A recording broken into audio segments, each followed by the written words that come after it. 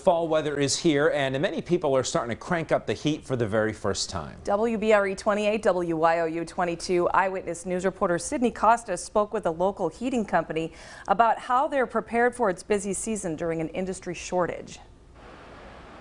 The temperatures are going down and the heat is being cranked up for many residents in NEPA.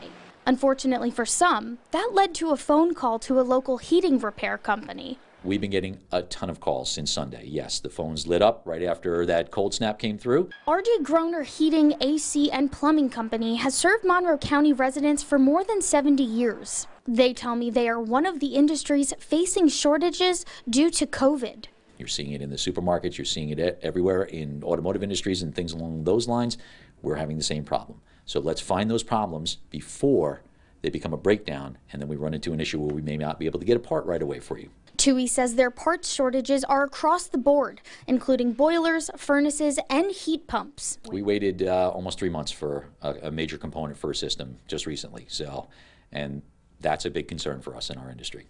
Besides checking your filters and keeping up with maintenance on your heaters, you should make sure to have properly working carbon monoxide and smoke detector alarms inside your home. Now, despite many turning on the heat, some locals tell me they're still waiting to make the switch. We haven't gotten there quite yet. It was this close last night because it was a little cold, but by the by the weekend we'll probably turn it back on. So. In Stroudsburg, Sydney Costas, 2822, Eyewitness News. RJ Groner tells us because of the shortages and longer shipping times, they ordered extra parts ahead of the winter season.